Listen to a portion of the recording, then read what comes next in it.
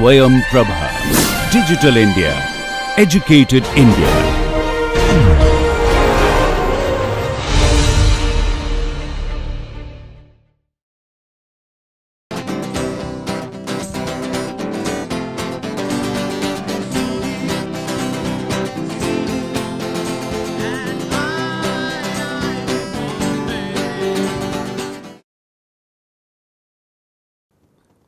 Welcome to MOOC NPTEL course on interactomics. As discussed in the last lecture, surface plasmon resonance is increasingly being used in drug discovery and validation studies using small molecules. In our previous lecture, the binding analysis of small molecules to carbonic anhydrase and human serum albumin was demonstrated and the screening results were evaluated. The assay performance was studied and binding responses at active and reference surfaces were examined.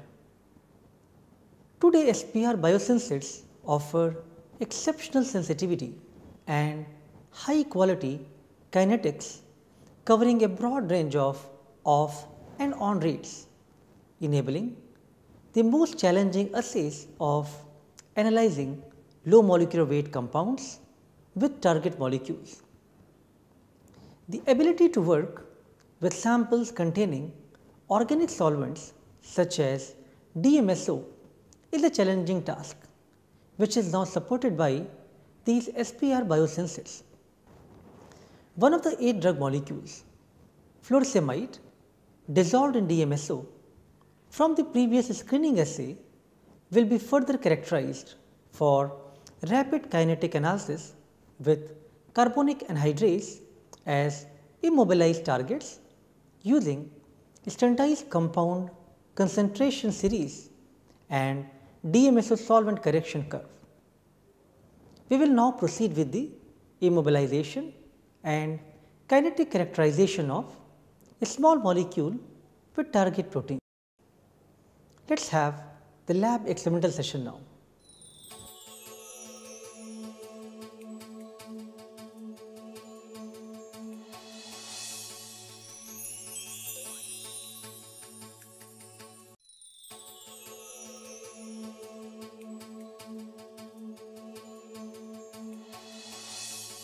Now we will set up our immobilization for the kinetic template. For this kinetic experiment, we will have the carbonic anhydrase immobilized by amine coupling on a flow channel 4 to the target level of 1500 RUs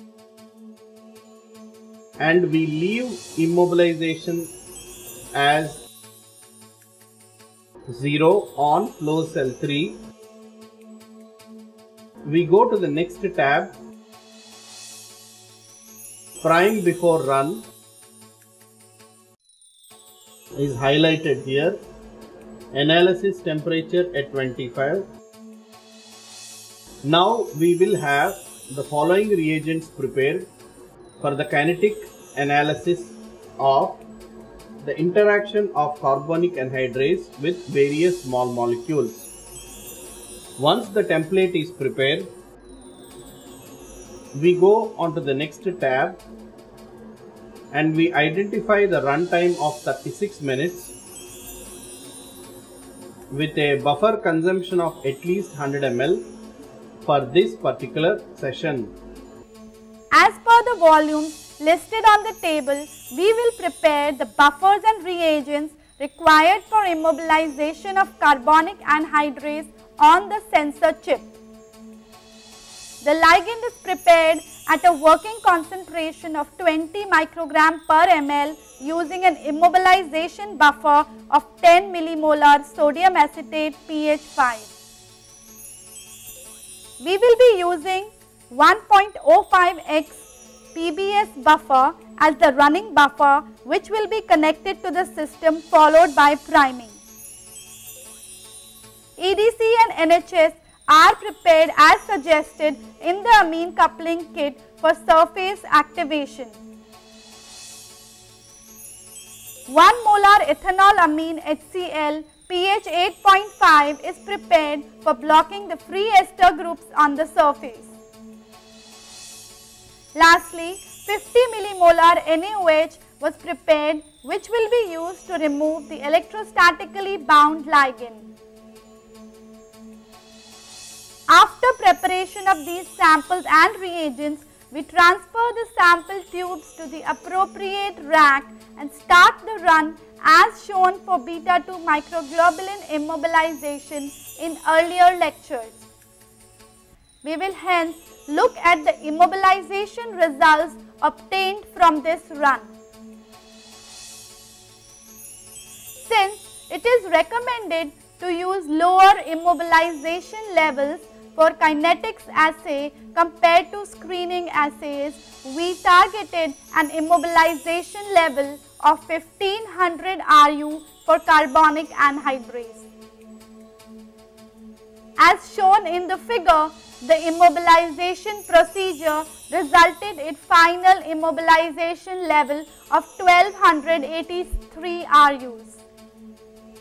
With this, we proceed further with setting up of kinetic assay wizard for low molecule weight compounds to study the interaction between carbonic anhydrase and furosemide. We now see how a small molecule kinetic template is set up. Similarly, here as well we have the startup we have a sample flown at least once on the surface and a solvent correction with 8 different solvent correction points set here. Here also in the variable setting or in the cycle types we go to the low molecular weight kinetic wizard check that the type is high performance Contact time is 60 seconds. Dissociation time is 120 seconds. Flow rate at 30 microliter per minute. Flow path both. Extra wash with 50% DMSO. Stabilization time of 30 seconds is provided here. Also, there is a carryover control injection will be given at a flow rate of 40 microliter per minute. Similarly, the sample solution is a variable here. Also, the concentration and the molecular weight are variables here. So we go into the verification mode and see that the method has been verified and can be used to set up a run. We go into the setup. Here the flow path is 4 minus 3. We go on next. We have 5 startup cycles. One set of solvent correction before the run and another select solvent correction after the run. In between we have the furosemide injected at various concentrations on the surface of the carbonic anhydrase and the kinetic data is accumulated here. We have highlighted prime before run. And the following are the rack positions for various samples with furosemide at different concentrations 50% DMSO buffer for the startup solvent correction 8 different solvent correction sample vials provided for a successful kinetic experimentation of furosemide binding to carbonic anhydrase. As per the volumes listed in the table, we prepared the following samples and reagents. we prepare a running buffer of 5% DMSO in 1x PBS. We will be preparing a total of 5 concentrations of furosemide starting from 20 micromolar, 10 micromolar, 5 micromolar, 2.5 micromolar, 1.25 micromolar, 0.625 micromolar, 0.312 micromolar and 0.156 micromolar using a two-fold serial dilution in the running buffer with 2.5 micromolar concentration in duplicate. Running buffer will be used as a zero concentration negative control as well as in startup cycles. A wash solution is prepared with 50% DMSO in water. Lastly, 8 freshly prepared DMSO solutions ranging from 4.5% to 5.8% DMSO are prepared in 1.05x PBS for solvent correction. We will now work on the reagents required for the kinetic assay to study the interaction between human serum albumin and furosemide. In this study, we will again be using 5% DMSO in 1.05x PBS as the running buffer which will also be used for the initial startup cycle. As prepared in the screening assay, we will again prepare 8 different solvent correct solutions ranging from 4.5% DMSO in PBS to 5.8% DMSO in PBS by mixing these two solutions in different ratios. To reiterate, we have numbered the tubes as 1 to 8 and added 200, 400, 600, 800, 1000, 1200 and 1400 microliter of 4.5% DMSO in tubes 2 to 8 respectively.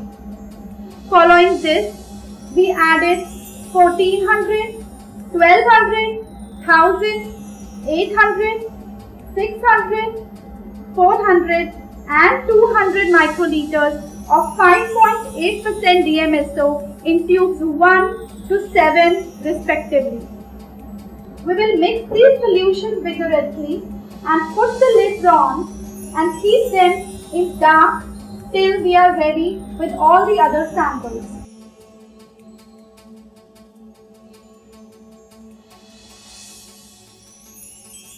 We will be using 8 different concentrations of the analyte furosemide in the running buffer including 20 micromolar, 10 micromolar, 5 micromolar, 2.5 micromolar, 1.25 micromolar, 0.625 micromolar, 0.312 micromolar? And 0.156 micromolar. We will prepare this concentration series in two-fold dilution using running buffer starting from 20 micromolar, which means we will mix 200 microliter of 20 micromolar protein with 200 microliter of running buffer to get the 10 micromolar concentration. We similarly continue the two-fold dilution to obtain the rest of the concentration series. One of the concentrations should be run in duplicate. So here in this experiment, we will be running 2.5 micromolar concentration in duplicate and we will also include 3 zero concentrations which will be nothing but the running buffer. All of these samples and reagents have now been aliquoted in the required volumes in these specialized tubes. We will now proceed to insert these tubes including the samples, the starter, 50% DMSO and the solvent correction solution into the appropriate rack and then into the system to perform the protein small molecule screening assay. We have now placed all the tubes inside the rack including the wash solution, the furosemide samples, the startup and the solvent correction solutions. And now we will place this rack inside the system to start with our kinetic assay. We will now start with our run as demonstrated in our earlier lectures.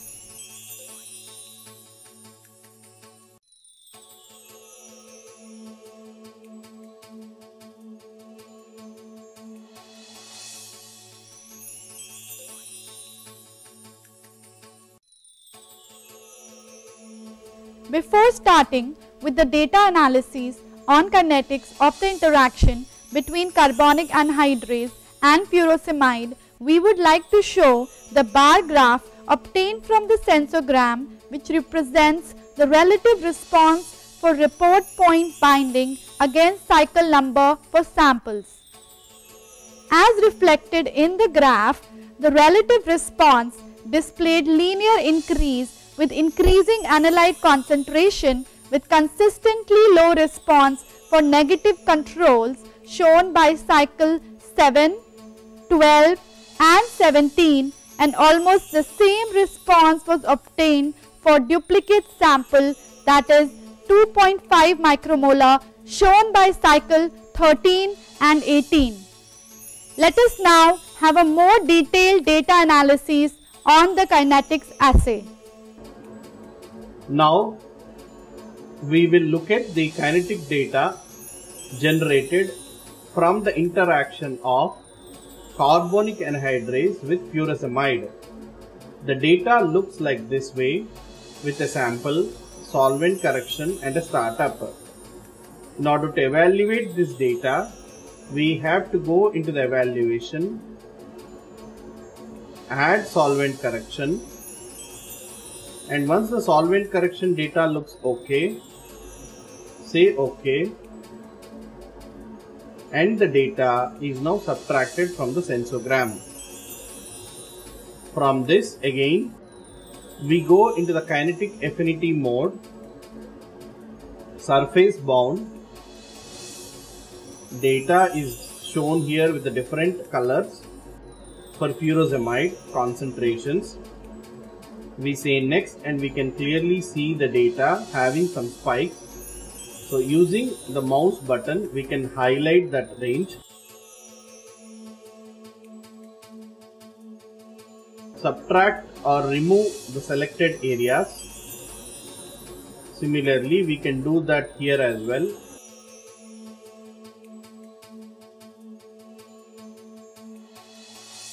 Once the subtraction is done we can go further to evaluate in the kinetic mode and fit the data.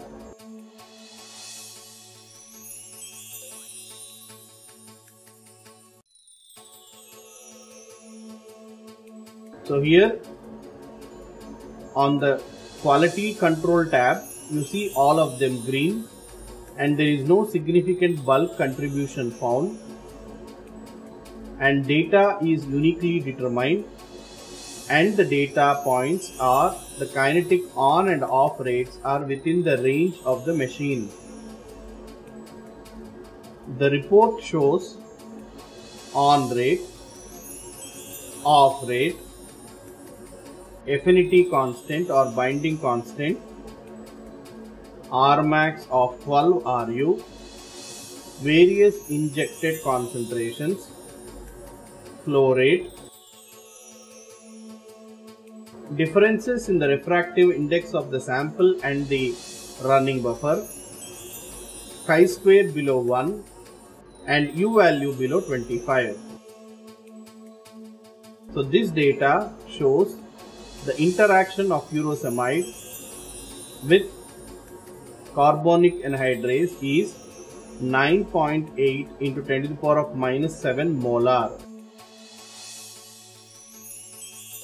With this we go to the next tab and analyze the data here with the one-to-one -one fit of the data the residuals or the differences from the black line to the colored line should fall within the green areas or at least within the red area. Here they are within the green areas and it looks absolutely good to proceed with this data.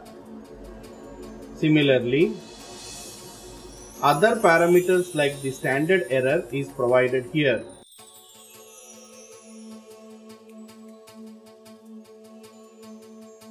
With this, we will conclude the kinetic information generated for the interaction of furosemide with the ligand carbonic anhydrase recorded at 25 degrees centigrade and solvent corrected for the DMSO presence in the running and the sample buffers.